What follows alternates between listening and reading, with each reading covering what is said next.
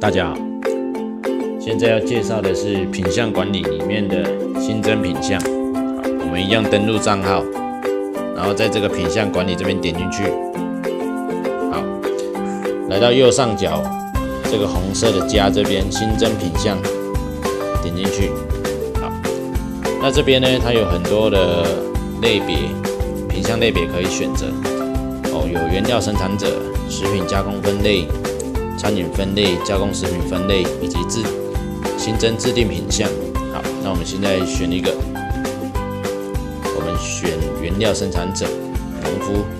好，那我的主要是茶叶、林山、粮食及特用作品。